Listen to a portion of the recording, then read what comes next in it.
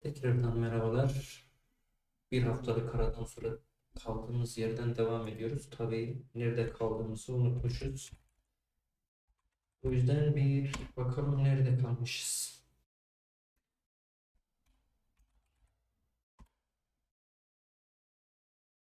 Hmm, Şimdi buradan çıkış yapalım. Giriş yaptığımız zaman giriş yap desek bir şey olmuyor. 1, 2, 3 diyelim. Giriş olmuyor. O halde demek ki burada şifre istiyor mu? Libredo'da. Backend tarafına bakmamız lazım tabii ki. Burada neler var? Şurada neye bakmışız biz? SQL'den kullanıcıyı almışız. E-mailine göre şifresini kontrol etmemişiz. Ancak eğer bir kullanıcı return ediyorsa yani veri tabanında bu e-posta ile bir kullanıcı var ise bize e, o kullanıcıyı gönderecek. O halde biz ne yapmamız lazım? Burada biraz düzenleme yapmamız lazım. Birincisi şifreyi kontrol etmiyor. SQLX'i kurmuşuz. SQLX e, bu arada bilmiyorsanız eğer burada bizim bir tane e, query'miz var. Bu query'e bir e-mail gönderiyoruz. Bu da işte e, users tablosundan e-maili şu olan bizim girdiğimiz e-posta adresine bakıyor. İşte bu e-posta adresine sahip olan kullanıcının sadece ID'sini ve first name'ini alıyor. Tabii daha detaylı query nasıl yapılır? Bunun için e, SQL konularına biraz bakmanız gerekiyor. Aşağı yukarı bütün SQL'lerde e, çalışma mantığı aynı. Tabii biz şunu diyoruz. Query S'te şöyle bir detay var. Bize ya istediğimiz sonucu verecek yani bir tane e, row return edecek. Biz de eğer bir şey return ediyorsa bunu U denilen bir yapıya çevir demişiz. Burada U ne? Şurada tanımladığım kullanıcı aslında. Yani işte ID'si ve first name'i olan bir şey tanımlıyorum. Burada da dikkat ederseniz ID ve first name tanımlamışım. Burada tabii serde dediğimiz serialize aracı veri tabanından gelen teksti buradaki Rust e, yapısına çeviriyor. Burada zaten serde, serialize, deserialize, SQLX from row kısımlarını bu yüzden yazmışız. Tabii işte eğer kullanıcı gelirse biz de gelen o bilgileri alıyoruz. Yeni bir kullanıcı yapısı oluşturuyoruz ve bunu return ediyoruz. Daha doğrusu burada değil de şurada return ediyoruz. Burada hangisinin return edileceğini belirtiyoruz. Şimdi o zaman şifreyi de işin içine dahil edelim diye düşünüyorum. Ee, nasıl? Birincisi bizim backend tarafında şifremizi veri tabanındaki şifreyle e, karşılaştıracak. Tabii bizim şimdi client tarafında gönderdiğimiz şifre normal mesela 1 2 3 4 gönderdiğimiz zaman buraya da 1 2 3 4 geliyor. Yani backend tarafına da 1 2 3 4 geliyor. Ama e, veri tabanında siz o şekilde saklayamazsınız. Veri tabanında bu gelen 1 2 3 4 dediğimiz şifreyi şifrelemek zorundasınız. Hashlemek zorundasınız güvenlik açısından. Hashleyip veri tabanına kaydediyorsunuz. Dolayısıyla bize bir tane hash e, kütüphanesi lazım. Bunun için backend e, projesine geçiyoruz. Cargo ads yani backend tarafına bir tane kütüphane ekleyeceğiz. O da bcrypt kütüphanesi. Hemen bakıyoruz. Burada cargo tom'la ekledi mi? Eklememiş gibi görünüyor. Ben göremiyorum. Heh, daha bitmemiş çünkü. Burada birkaç tane feature belirteceğiz. Allah Allah internet niye bu kadar yavaş ya? Bu kadar yavaş olmaması lazım internetin.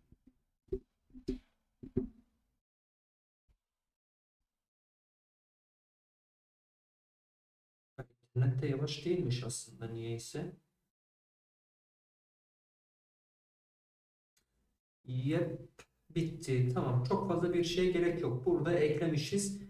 Bunun nasıl kullanılacağını e, az çok belirtecek olursak ya da burada hiç belirtmeye gerek yok. Buraya database'e birkaç tane fonksiyon e, eklememiz aslında yeterli olur diye tahmin ediyorum. E, ne yapalım? Bir tane kullanıcıyı bulma. Pn get bunu buraya mı yazalım yoksa direkt oradan? Neyse oraya yazmışız. Şimdilik burayı kullanmayalım. Gelelim buraya.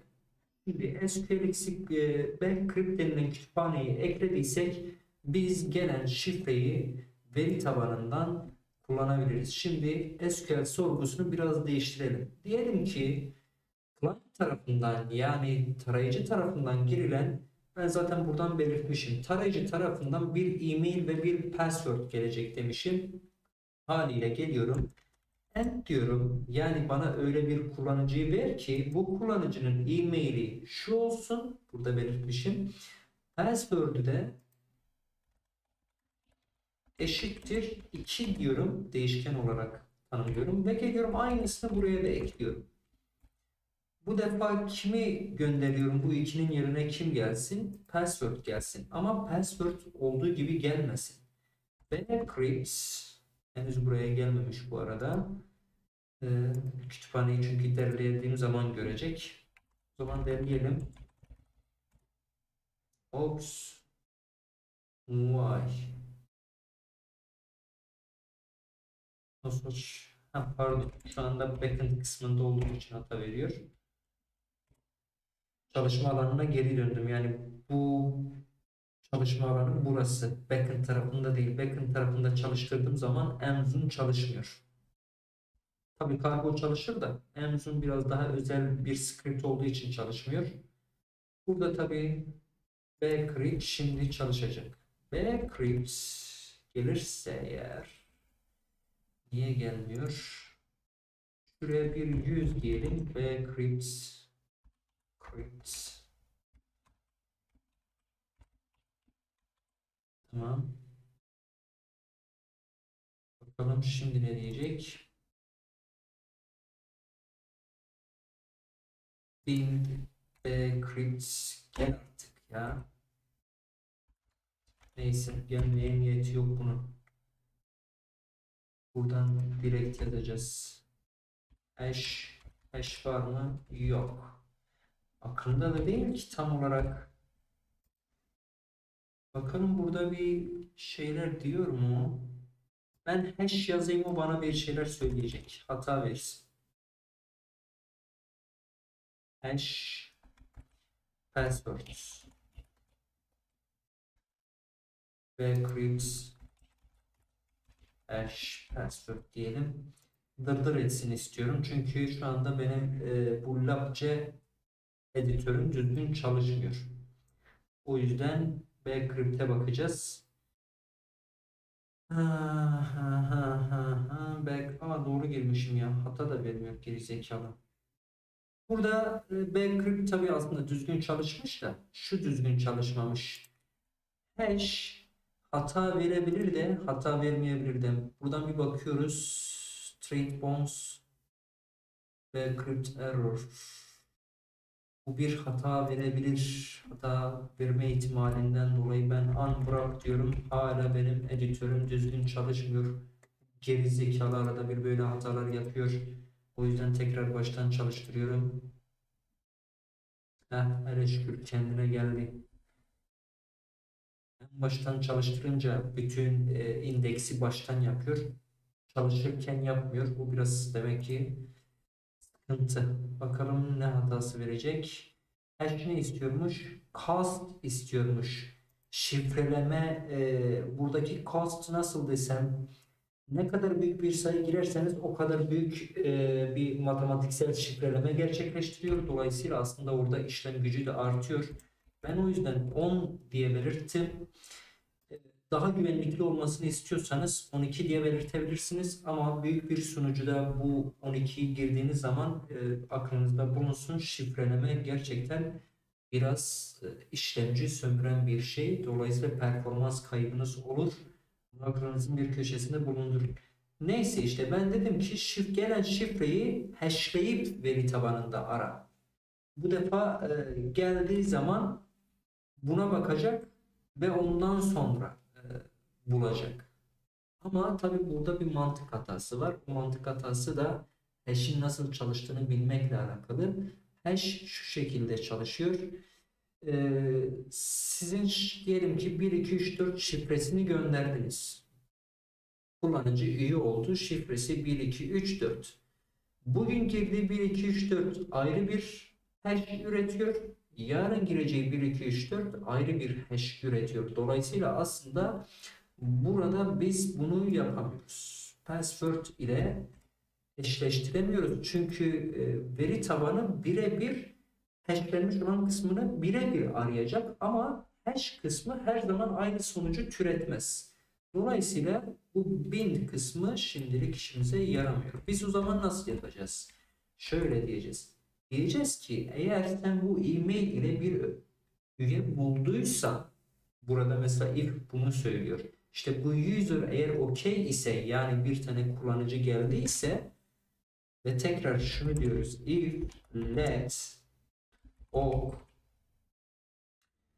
ee, yine user diyelim u2 diyelim mesela buna eşittir kim u'nun password'ü burada bir de password'ü de tekrar almamız gerekiyor password gelsin ki biz o password'ü karşılaştırabilelim acaba elimizdeki şifreyle veri tabanından gelen şifre birbiriyle uyumlu mu diye Tabi bu password geldiği zaman e, biz bunu neye return etmiştik? U'ya. U'da password kısmı var mı? Yok. O zaman ekleyelim. Password. Bu da bir string. Tabi bunlar için veri tabanında users tablosu oluşturmuş olmanız lazım. Eğer bu konuda bir sıkıntı yaşıyorsanız e, Discord kanalına gelip bana sorabilirsiniz. Yani PostgreSQL kurarken herhangi bir sıkıntı yaşarsanız ya da tablo oluşturmaya çalışırken e, takıldığınız bir nokta olursa gene sorun. Ama şunu sormayın lütfen. Hocam PostgreSQL'i nasıl kuracağım? Çünkü onu kurmanız e, eğer böyle bir şeye ihtiyacınız varsa kurmak kısmı çok sorun değil. Önce PostgreSQL'i kuracaksınız. Sonra bir tane veri tabanı oluşturacaksınız. Veri tabanı oluşturduktan sonra da users tablosunu oluşturacaksınız. Benim buradaki önceliğim Rust olduğundan dolayı, backend tarafını oluşturmak olduğundan dolayı SQL kısmını biraz arka plana atıyorum. Ama diyelim ki siz kurmaya çalıştığınız ama kuramadınız. Discord'a gelip bana sorabilirsiniz nasıl olduğunu. Yardım ederim. Ama e, şunu da belirteyim. Ben bir veri tabanı yöneticisi değilim. Yani o konuda çok üstün yeteneklerim yok. Neyse şimdi password'ü de aldık. Dolayısıyla veri tabanından ID'sini, first name'ini ve password'ünü alıyoruz. Bu user'a gelecek eğer varsa bu e-posta adresinde bir kişi varsa gelecek. Sonra geleceğiz buraya. Onun password'üne şunu diyeceğiz. Bcrypt e, verify. Verify. Bu password ile password. İse Şimdi yani bu kullanıcının şifresiyle gelen şifre birbiriyle uyumlu ise hmm, bu ne diyor?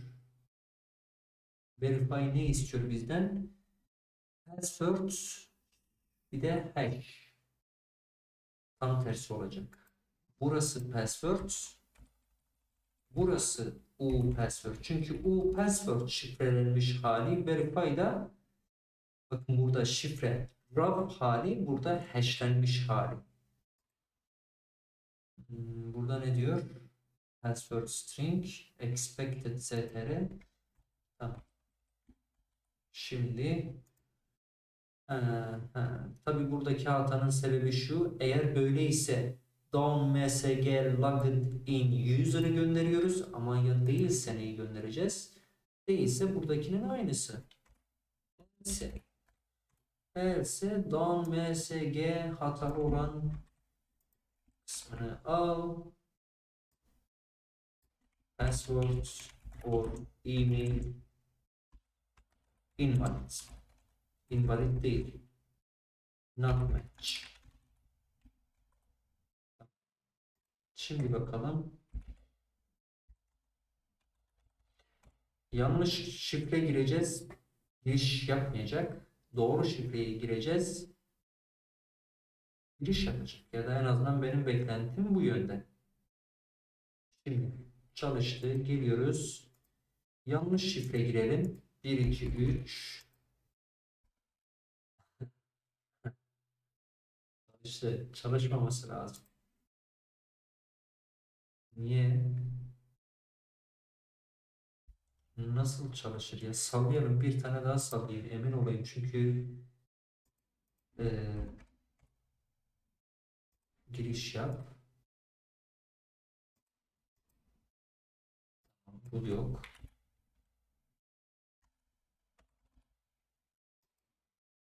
Gene yaptım. Çıkış yap. Şifre girmesem ama her defasında alıyor. Diye ben ne anladım bu işten? Hiçbir şey anlamadık bundan.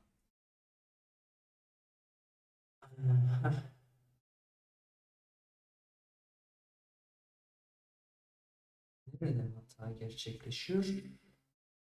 Frontend acaba veri mi göndermiyor? View kısmında burada appmsg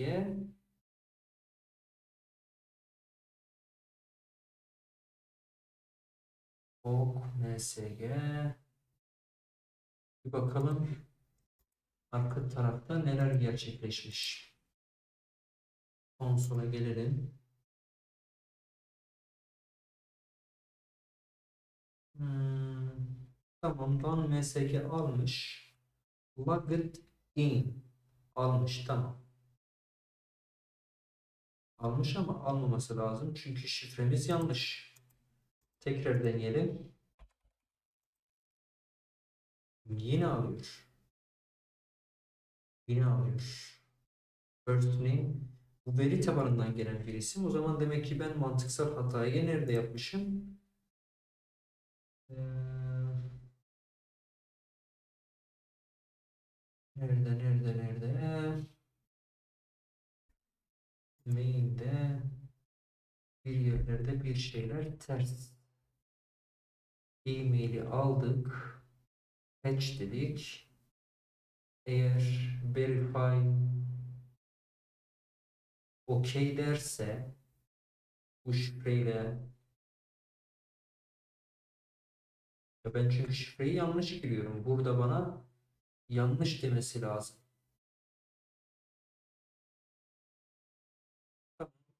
Bir tane kullanıcıyı veri tabanından çekecek. Çekti. Bu user.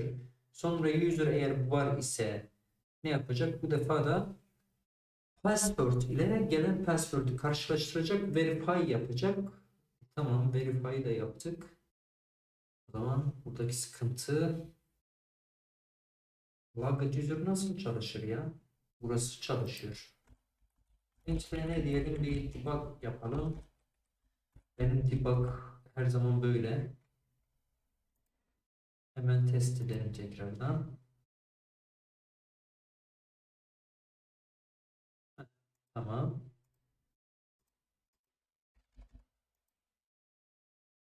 Ne diyor?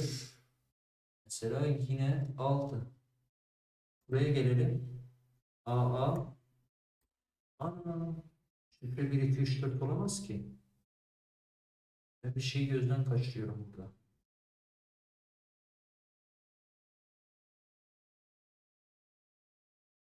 User'ın bu password ile başka bir şifre deneyelim. Çıkış yap. Tekrar giriş yap. Mehmet Eribo.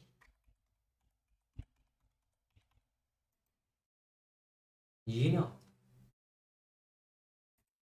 Benim burada gözümden kaçan bir detay mı var? almaması lazım. Email password change password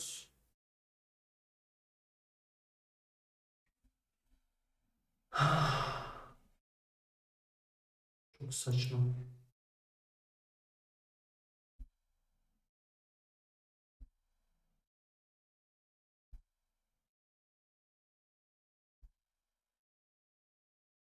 Nasıl ya?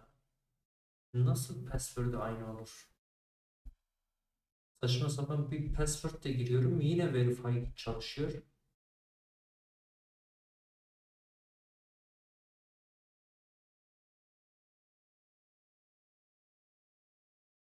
Bu mu?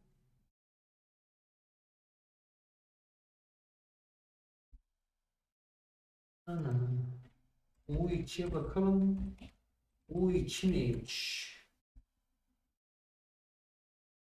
Ha, pardon.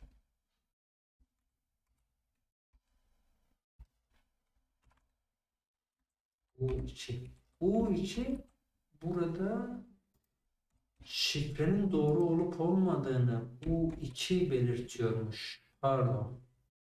Buna bakınca fark ettim. Doğru. Şimdi önce bir bakalım. Dediğim gibi miymiş? Bir bakayım.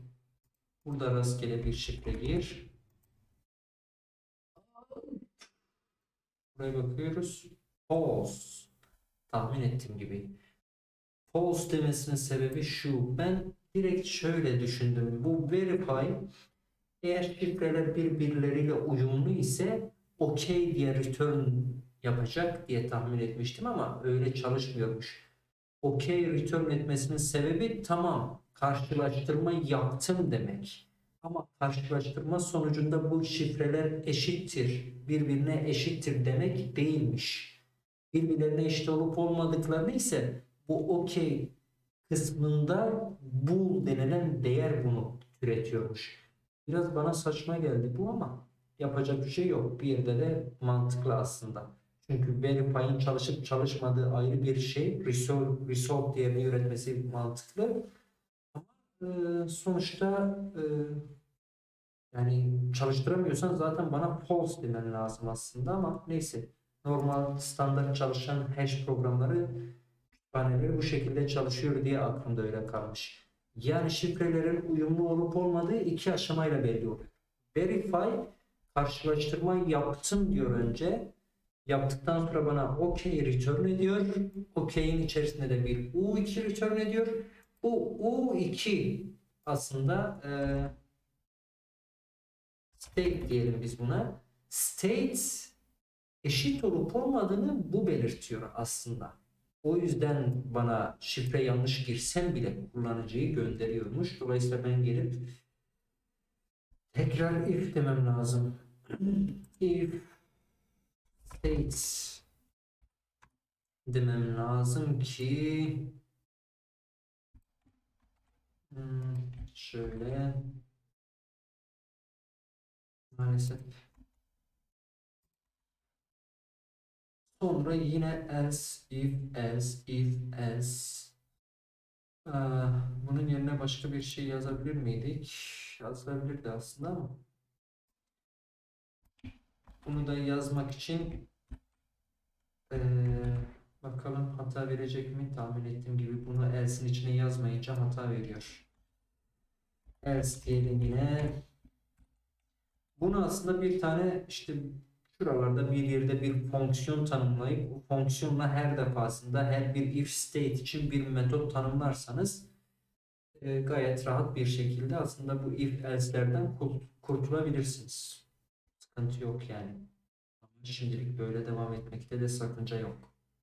Bu kadar takıntı haline getirmeyin yani. Düzeltebileceğiniz bir şeydir. Şimdi deneyelim. Gördüğünüz gibi not match. Bir de doğru şifreyi girelim. Bu da benim doğru şifrem. Hmm, geldi. Okey.